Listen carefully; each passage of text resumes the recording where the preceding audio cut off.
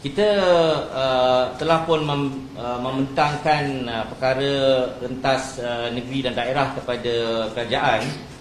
dengan uh, mem, membantu untuk menentukan kaedah terbaik bilakah rentas negeri boleh kita lift up eh, ataupun kita kecualikan. Tapi perlu uh, kita lihat pada enam petunjuk yang telah pun ditentukan eh, iaitu seperti situasi kes harian termasuk kes yang sudah sembuh dan dibenarkan pulang iaitu discharge uh, trend dan kadar kebolehjangkitan iaitu yang harian kita beritahu so far ada 14,000 yang ada kebolehjangkitan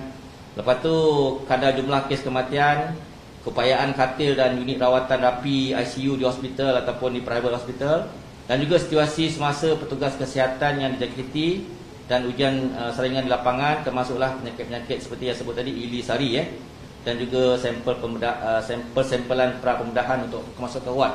Petunjuk-petunjuk ini uh, kita maklumkan kepada kerajaan supaya dapat kita penuhi dahulu sebelum kita boleh benarkan uh, rentas negeri diadakan ataupun walaupun untuk PKP negeri PKP ke negeri PKP yang telah pun kita umumkan kita dah wujudkan uh, travel bubbles eh di kalangan uh, mereka yang dah merentas negeri kecuali di Sabah Sarawak eh Sabah Sarawak, rentas negeri dan daerah masih lagi belum dibenarkan sepenuhnya eh. Tetapi di Semenanjung ada negeri-negeri yang telah pun boleh rentas eh seperti uh, Pahang PKPP. Uh, Negeri Sembilan PKPP kecuali Seremban PKPB. Jadi untuk pergi uh, daripada uh, uh, Negeri Sembilan ke Pahang contoh eh melalui Rembau ke melalui uh, Jelebu ke pergi ke uh, Bera uh, mereka adalah negeri PKPP kepada PKP. Mereka boleh wujudkan travel bubbles eh. Perlu menggunakan uh, uh, sektor pelancongan yang berdaftar dan dimaklumkan awal kepada pihak polis eh, untuk kebenaran kerana kebimbangan mencetuskan jangkitan baru.